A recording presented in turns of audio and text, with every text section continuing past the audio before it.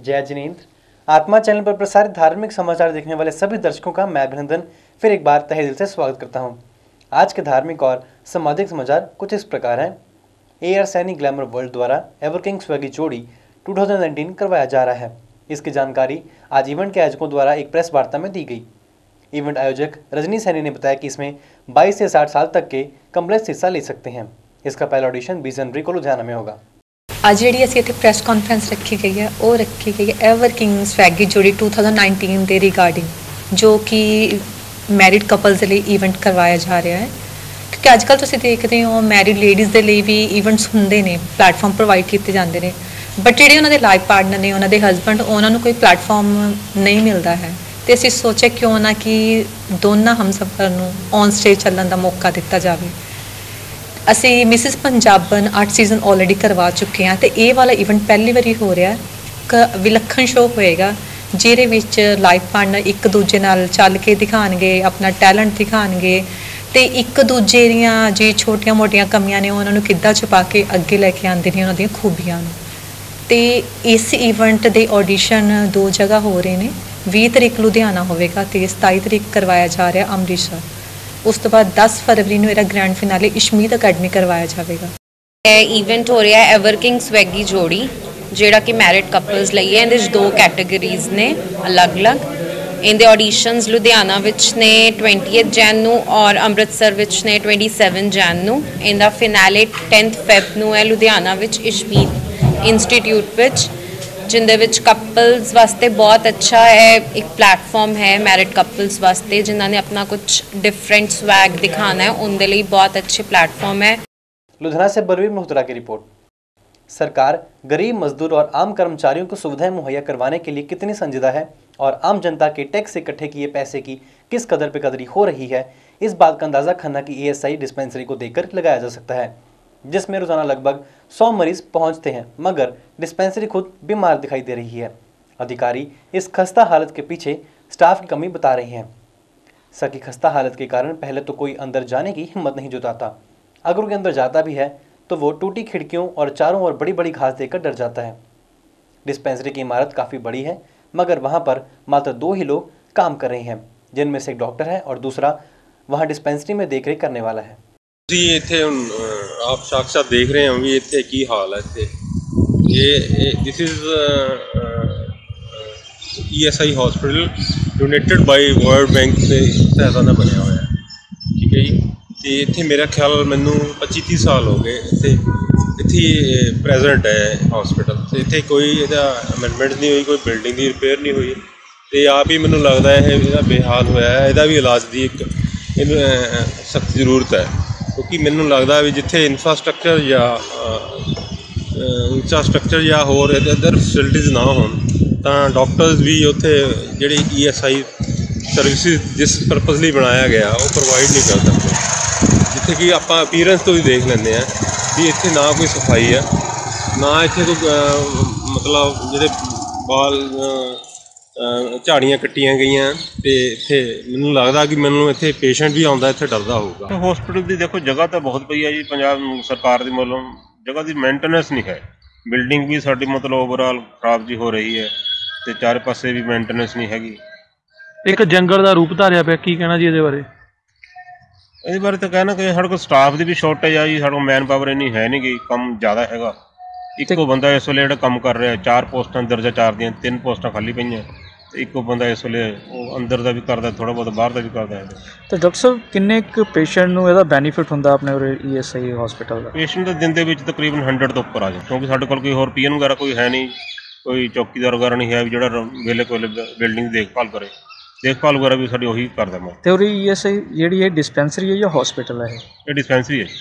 ਤੇ ਓਪੀਡੀ ਹੀ ਹੁੰਦੀ ਹੈ ਉਰੇ ਹੋਰ ਕੁਝ ਨਹੀਂ ਹੁੰਦਾ? ਓਪੀਡੀ ਕਿੰਨੇ ਡਾਕਟਰ ਹੈਗੇ ਨੇ ਜੀ ਇੱਥੇ? ਡਾਕਟਰ ਸਿੰਗਲ ਪੋਸਟ ਹੈ ਮੈਂ ਇਕੱਲੇ खन्ना से प्रभुत भट्टी की रिपोर्ट। आज हम आपको दिखाने जा रहे हैं स्पेशल रिपोर्ट में सफ़ेद दूध का काला सच। आज लुधियाना के हैबोवाल में डेयरी उत्पादकों के सहयोग से सेहत विभाग ने छापामारी करके नकली दूध सप्लाई कर रहे एक टैंकर को अपने कब्जे में लिया। यह दूध मिठाइयों की दुकान में खरीदा जा रहा था। हैबोवाल के डेयरी एसोसिएशन मेंबरों सहित टैंकर का पीछा किया गया और सेहत विभाग को मौके पर बुलाया गया। सेहत विभाग द्वारा सैंपल भरे गए और जाँच के लिए भेज दिए गए हैं। बहुत गाड़ियाँ पकड़ी, रात को नाका लगा के पकड़ी। अमलो रोड पे जैसे मानसा से आ रही थी एंट्री पॉइंट्स पे करी पुलिस के साथ मिलके करी। क्या था डेयरी डेवलपमेंट में सब में दूध। पर हमारा कोई अभी इस कंपेन में जो हम चलाया है हमने पिछले तीन चार महीनों से अनसेफ फॉर ह्यूमन कंजम्पशन वाली कोई रिपोर्ट नहीं आई। सब स्टैंडर्ड आए हैं लोगों के। कितने पाए हैं तो नहीं कह सकते पर दूध में से सब स्टैंडर्ड जितने थे लाइक शुरू में हमने जो सबसे पहले वाली करी थी अबाउट फिफ्टी परसेंट सब स्टैंडर्ड आए थे फेल जिसको कहते हैं। अब फेलियर रेट कम हो गया आगे से। सब स्टैंडर्ड दूध पीने से बीमारी नहीं लगती। सब स्टैंडर्ड का मतलब है कि उसमें फैट कम है उसमें S N F like solid not fat कम है।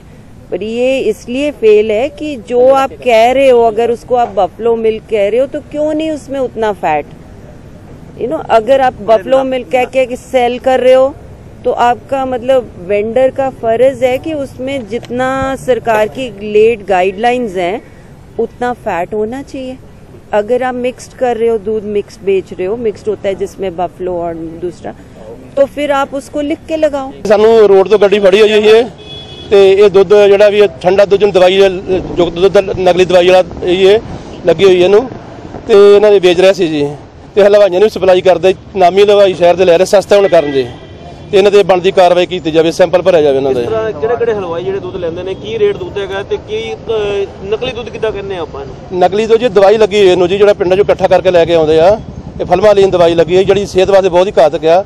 ਤੋਂ ਸਸਤੇ ਹੋਣ ਦੇ ਲਾਲਚ ਨੂੰ ਇਹ ਦੁੱਧ ਲੈ ਰਹੇ ਹਲਵਾਈ ਵੀ ਲੈ ਰਹੇ। ਤੇ ਇਹਦੀ ਕੰਪਲੇਂਟ ਤੁਸੀਂ ਕੀਤੀ ਹੈ ਕਿਸੇ ਨੂੰ? ਨਹੀਂ ਹਲੇ ਤਾਂ ਆਪਣਾ ਸਿਹਤ ਵਿਭਾਗ ਨੂੰ ਕੀਤੀ ਹੈ ਸਿਹਤ- ਵਿਭਾਗ ਨੂੰ ਕੀਤੀ ਹੋਈ ਹੈ ਜੀ। ਉਹ- ਪੁਲਿਸ ਪ੍ਰਸ਼ਾਸਨ ਨੂੰ ਵੀ ਨਾਲ ਬੁਲਾਇਆ ਜੀ। ਉਹ ਵੀ ਆ ਰਿਹਾ ਜੀ। ਭਾਈ ਗੱਲ ਤਾਂ ਇਦਾਂ ਵਾ ਅਸੀਂ ਵੀ ਦੁੱਧ ਪਾਉਂਦੇ ਆ। ਅਸੀਂ ਤਾਜ਼ੇ ਦੁੱਧ ਦਾ ਕੰਮ ਕਰਦੇ ਆ ਅਸੀਂ ਸ਼ਰੇਆਮ ਦੁੱਧ ਪਾਣ ਜਾਂਦੇ ਆ। ਸਾਡਾ ਦੁੱਧ ਗਰਮ ਹੁੰਦਾ ਜਦੋਂ ਅਸੀਂ ਪਾਉਂਦੇ ਆ ਇਹ ਠੰਡਾ ਦੁੱਧ ਦਾ ਸਮੈਲ ਚੋਂ ਆਉਂਦੀ ਵੀ ਆ। ਪਹਿਲੀ ਗੱਲ ਤਾਂ ਜੇ ਸੱਚੇ ਸੀਗੇ ਇਹ ਡਾਇਰੈਕਟ ਸਪਲਾਈ ਕਰਨ ਜਾਂਦੇ। ਹੈਬੋਵਾਲ ਡੇਅਰੀ ਜਿੱਥੇ ਜਿਹੜੇ ਜਿਨ- ਜਿਨ੍ਹਾਂ ਨੂੰ ਉਹਨਾਂ ਨੇ ਸੇਲ ਕੀਤਾ ਇਹ ਉਹਨਾਂ ਨੂੰ ਦੁੱਧ ਚੁਕਾ ਰਹੇ ਤੇ ਸਾਈਡ ਤੇ ਬੁਲਾ ਕੇ ਚੋਰੀ ਚੋਰੀ ਕਿਉਂ ਚੁਕਾ ਰਹੇ ਆ? ਪਹਿਲਾ ਕਾਰਨ ਤਾਂ ਇਹੀ ਆ। ਹਾਂਜੀ ਇਹ ਇਹ ਤੁਹਾਡੇ ਲੀਵਰ ਨੂੰ ਡੈਮੇਜ ਕਰੂਗਾ ਤੁਹਾਡੇ ਇੰਟਰਨਲ ਸਿਸਟਮ ਨੂੰ ਡੈਮੇਜ ਕਰਨਾ ਕਿਉਂਕਿ ਜਿਹੜੇ ਜਿਹੜੇ ਆ ਆਪਣੇ ਸਿਵਲ ਹਸਪੀਟਲ ਦੇ ਵਿੱਚ ਜਿਹੜੇ ਮੁਰਦਿਆਂ ਨੂੰ ਦਵਾਈ ਲੱਗਦੀ ਆ, ਉਹ ਮੁਰਦਿਆਂ ਨਾਲ ਇਹਨੂੰ ਇਹਨੂੰ ਇਹਨੂੰ ਲਾਉਂਦੇ ਕਿ ਦੁੱਧ ਫਟ ਨਾ ਜਾਵੇ ਜਾਂ ਖਰਾਬ ਨਾ ਹੋਵੇ, ਉਹ ਦਵਾਈ ਲੱਗੀ ਹੁੰਦੀ ਆ। ਬਿਲਕੁਲ ਨਹੀਂ ਕੈਰੀ ਕਰ ਸਕਦੇ। ਪਹਿਲੀ ਗੱਲ ਤਾਂ ਇਹਨਾਂ ਨੇ ਉੱਤੇ ਆਪਣਾ ਆਪਣੀ ਕਾਸਟ ਲਿਖੀ ਹੋਈ ਆ ਤੇ ਲਿਖਣਾ ਪੈਂਦਾ not for public sale loss ਦੇ ਵਿੱਚ ਤਾਂ ਹੈ ਹੀ ਨਹੀਂ ਹੈਗਾ, ਬਿਲਕੁਲ ਵੀ। ਲੁਧਿਆਣਾ ਸੇ ਅਭਿਸ਼ੇਕ ਬਹਿਲ ਕੀ ਰਿਪੋਰਟ। यूथ कांग्रेस की क्रांति यात्रा आज लुधियाना पहुंची इसका नेतृत्व यूथ कांग्रेस के नेता केशव यादव कर रहे थे यह यात्रा कन्याकुमारी से कश्मीर तक जा रही है यूथ नेताओं द्वारा राफेल डील के मुद्दे पर मोदी सरकार को घेरा जा रहा है केशव यादव का कहना है कि मोदी सरकार ने देश की जनता के साथ धोखा किया है इस धोखे का जवाब उन्हें आने वाले लोकसभा चुनावों में देगी सांसद रणजीत सिंह बिट्टू ने यात्रा का स्वागत किया देखने वाली बात यह है कि आने वाले लोकसभा चुनाव में अगर सांसद रमनीत सिंह बिट्टू को लुधियाना से फिर से टिकट मिलती है तो उनके लिए यह यात्रा काफ़ी महत्वपूर्ण सिद्ध हो सकती है ਅੱਜ ਵੱਡੀ ਗਿਣਤੀ ਦੇ ਵਿੱਚ ਸਾਰੇ ਪੰਜਾਬ ਦੇ ਵਿੱਚ ਯੂਥ ਕਾਂਗਰਸ ਨੇ ਵੱਡੀ ਸੀਨੀਅਰ ਕਾਂਗਰਸੀ ਲੀਡਰਾਂ ਨੇ ਤੇ ਵਰਕਰਾਂ ਨੇ ਜੋ ਉਤਸ਼ਾਹ ਦਿਖਾਇਆ ਹੈ, ਇਹ ਗੱਲ ਦਾ ਸਾਫ਼ ਪ੍ਰਮਾਣ ਹੈ ਕਿ ਰਾਹੁਲ ਗਾਂਧੀ ਜੀ ਦੇਸ਼ ਦੇ ਅਗਲੇ ਪ੍ਰਧਾਨ ਮੰਤਰੀ ਹੋਣਗੇ। ਇਹ ਮਤਲਬ ਇੱਕ ਤਿਆਰੀ ਦਾ ਤੁਸੀਂ ਆਪ ਹੀ ਕਿਹਾ ਵੀ ਇੱਕ ਤਿਆਰੀ ਦਾ ਰਸਤਾ ਅਖਤਿਆਰ ਕੀਤਾ।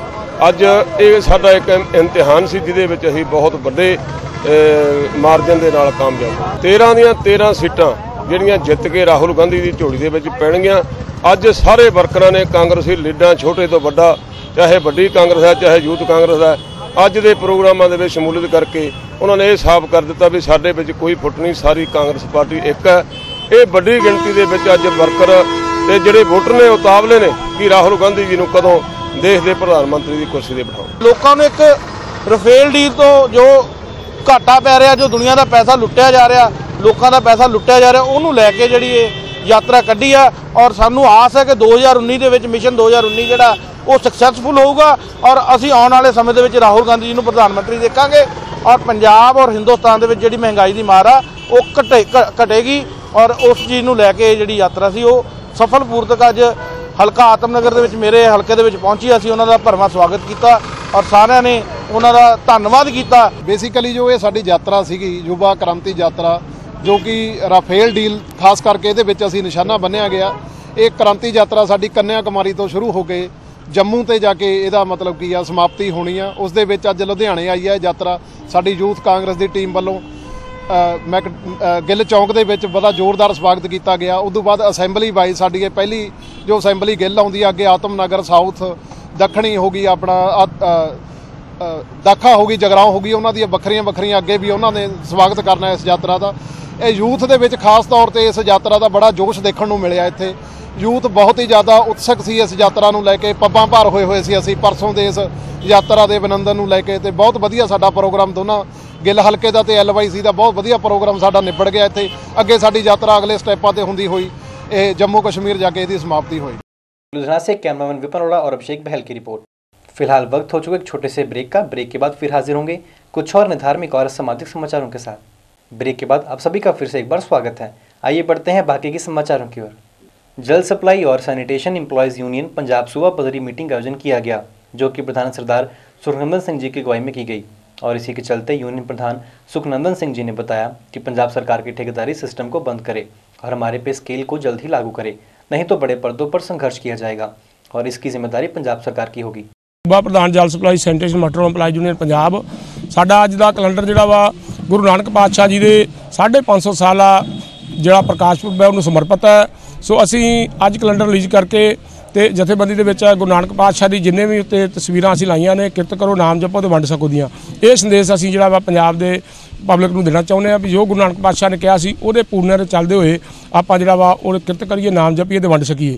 ਤੇ ਨਾਲ ਦੀ ਨਾਲ ਪੰਜਾਬ ਸਰਕਾਰ ਨੂੰ ਮੇਰੀ ਅਪੀਲ ਹੈ ਵੀ ਜਿੰਨੀਆਂ ਵੀ ਸਾਡੀਆਂ ਰਹਿੰਦੀਆਂ ਮੰਗਾਂ ਵਾ, ਉਹਨਾਂ ਵੱਲ ਜਲਦੀ ਧਿਆਨ ਦਿੱਤਾ ਜਾਵੇ। ਨਹੀਂ ਤੇ ਅੱਜ ਅਸੀਂ ਇਹ ਕੈਲੰਡਰ ਤੋਂ ਬਾਅਦ ਆਪਣੀ ਜਥੇਬੰਦੀ ਦੀ ਮੀਟਿੰਗ ਕਰ ਰਹੇ ਹਾਂ ਤੇ ਉਹਦੇ ਵਿੱਚ ਅਸੀਂ ਵੱਡਾ ਪ੍ਰੋਗਰਾਮ ਜਿਹੜਾ ਐਕਸ਼ਨ ਹੈ ਉਹ ਲੀਕ ਕੇ ਜਾਵਾਂਗੇ। ਅਸੀਂ ਸਰਕਾਰ ਨੂੰ ਇਹ ਕਹਿਣਾ ਚਾਹੁੰਦੇ ਵੀ ਇਹ ਠੇਕੇਦਾਰੀ ਜਿਹੜੀ ਭਰਤੀ ਕੀਤੀ ਇਹਨੂੰ ਬਿਲਕੁਲ ਬੰਦ ਕੀਤਾ ਜਾਵੇ। ਇਹ ਇੱਕ ਨਾ ਜੀ ਵੱਡੇ ਘਰਾਂ ਨੂੰ ਲਟਾਉਣ ਦਾ ਜਿਹੜਾ ਵਾ ਇਹ ਨੀਤੀ ਆ ਇਹਦੇ ਵਿੱਚ ਕੋਈ ਵੀ ਮੁਲਾਜ਼ਮ ਨੂੰ ਕੋਈ ਹੱਕ ਨਹੀਂ ਮਿਲਦਾ ਇਹ ਠੇਕੇਦਾਰ ਸਿਸਟਮ ਤੁਰੰਤ ਬੰਦ ਹੋਣਾ ਚਾਹੀਦਾ ਵਾ ਤੇ ਜਿਹੜੀ ਰੈਗੂਲਰ ਭਰਤੀ ਆ ਉਹ ਕਰਨੀ ਚਾਹੀਦੀ ਹੈ ਸਰਕਾਰ ਨੇ ਵਾਅਦਾ ਵੀ ਕੀਤਾ ਵੀ ਘਰ ਘਰ ਰੁਜ਼ਗਾਰ ਦੇਵਾਂਗੇ ਪਰ ਉਹ ਵਾਅਦੇ ਤੋਂ ਸਰਕਾਰ ਜਿਹੜੀ ਭੱਜ ਰਹੀ ਉਹਨੂੰ ਜ- ਜਗਾਉਣ ਵਾਸਤੇ ਹੀ ਨਵਾਂ ਜਿਹੜਾ ਐਕਸ਼ਨ ਹੈ ਉਹ ਅੱਜ ਲੀਕ ਕੇ ਜਾਵਾਂਗੇ ਜੀ लुधियाना से कैमरामैन गोल्डी के साथ अभिनंदन की report Jain international trade organisation JITO की तरफ से वंसली दुराहा में तीन फरवरी को एक कार्यक्रम आयोजित किया जा रहा है जिसको रंगला पंजाब का नाम दिया गया है इस मौके पर जीतो लेडीज़ विंग के सेक्रेटरी मिस सोनिया जी का कहना है कि जीतो की हमेशा यही कोशिश है कि वह समय समय पर ऐसे कार्यक्रम आयोजित करें जिससे जैन समाज के चारों संप्रदाय एक दूसरे के संपर्क में रहें। मैं Sonia Jain, secretary JITO ladies wing Ludhiana. हम 3 फरवरी, रविवार 2019 को वनस्थली दोराहा में एक प्रोग्राम आयोजित करने जा रहे हैं रंगला पंजाब।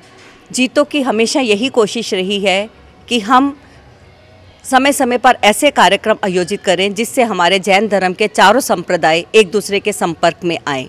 और इस बार ये प्रोग्राम भी यही सोच के आयोजित किया जा रहा है। मेरी सकल समाज से विनम्र प्रार्थना है कि आप इस प्रोग्राम में ज़रूर पधारें, साथ में बड़ों को, बच्चों को ज़रूर लेके आएँ, क्योंकि इसमें पंजाबी कल्चर से बहुत कुछ आपको देखने को मिलेगा। पंजाबी खाना, पंजाबी गिद्दा, पंजाबी डांस और पंजाबी को छूने वाले बहुत से रंग जो आपका मन निश्चय ही मोह लेंगे। लुधियाना से कैमरामैन गोल्डी के साथ अभिनंदन की रिपोर्ट। लुधियाना के सराभा लेडीज़ क्लब द्वारा महाराजा रेजेंसी में रिपब्लिक डे को समर्पित एक प्रोग्राम आयोजित किया गया, जिसमें भारतीय सैनिकों की छवि तथा उनके परिवार से जुड़ी भावनाओं को प्रस्तुत किया गया। बेहरहाल क्लब की तरफ़ से इस तरह का प्रोग्राम पहली बार प्रस्तुत किया गया। इस अवसर पर चेयरपर्सन शमी बद्रा तथा प्रधान वीना बाबा ने आए हुए सभी मेहमानों का स्वागत किया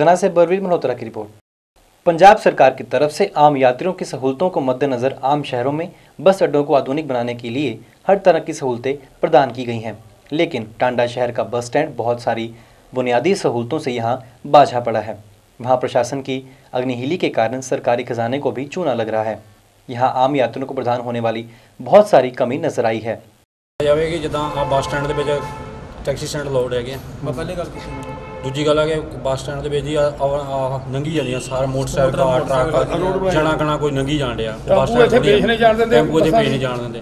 ਜੇ ਇੱਥੇ ਕੋਈ ਮਰ ਗਿਆ ਆਣ ਕੇ ਤਾਂ ਕੌਣ ਹਾਦਸੇ ਦਾ ਕੌਣ ਜ਼ਿੰਮੇਵਾਰ ਕਮੇਟੀ ਹੈਗੀ ਆ? ਜਿਹੜੇ ਅਸੀਂ ਨਾਈਟ ਦੀਆਂ ਪਰਚੀਆਂ ਲੈਣ ਡਏ ਆ ਰਾਜਧਾਨੀ ਵਾਲੇ। ਅੱਗੇ ਬੈਟਰੀ ਕੱਢ ਲਿਆ ਉਹਦੇ ਕੋਈ ਜ਼ਿੰਮੇਵਾਰੀ ਨਹੀਂ ਕਿਸੇ ਦੀ। ਕੋਈ ਚੌਕੀਦਾਰ ਨਹੀਂ ਹੈਗੇ। ਕੋਈ ਗੇਟ ਕੋਈ ਸਹੂਲਤ ਨਹੀਂ ਇੱਕ ਪੈਸੇ ਦੀ ਸਹੂਲਤ ਨਹੀਂ ਜੀ ਸਾਨੂੰ।